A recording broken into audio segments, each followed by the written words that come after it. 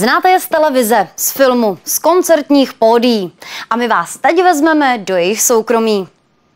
Uvidíte, co právě prožívají a jak se mají naše celebrity. Začíná paparaci. Vítám vás. Lucie Bílá si hýčká čerství, teprve dva měsíce trvající vztah s o 17 let mladším partnerem Radkem.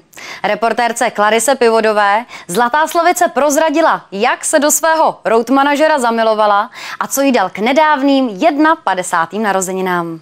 Zamilovaná Kateřina Krystelová si zítřejší 1. máj užije v náručí své nové lásky. Fotbalisty Tomáše Řepky. Jak se vyvíjí vztah moderátorky a někdejšího vyhlášeného bouřliváka? Nosí Tomáš Katce květiny a zamiloval se do ní na první pohled? Petr Janda oslaví pozítří 75. narozeniny. Starý se prý ale rozhodně necítí. Má na to vychytaný speciální fígl. Víte jaký? Šéf skupiny Olympic se totiž přestal dívat do zrcadla.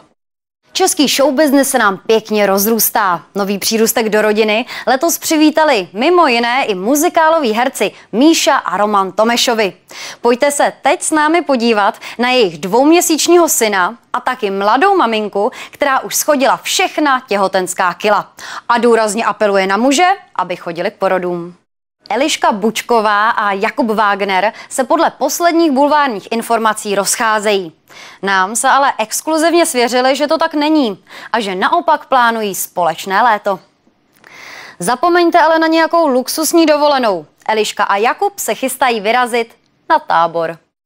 V pátek večer jste mohli na televizi Barandov sledovat už třetí díl nové řady seriálu Doktorka Kellerová.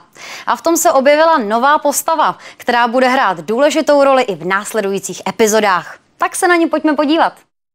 23 minut určených pro paparaci je pryč. Končíme bohužel jednou neúplně pozitivní zprávou. Známý český herec a jeho partnerka mají, zdá se, problémy.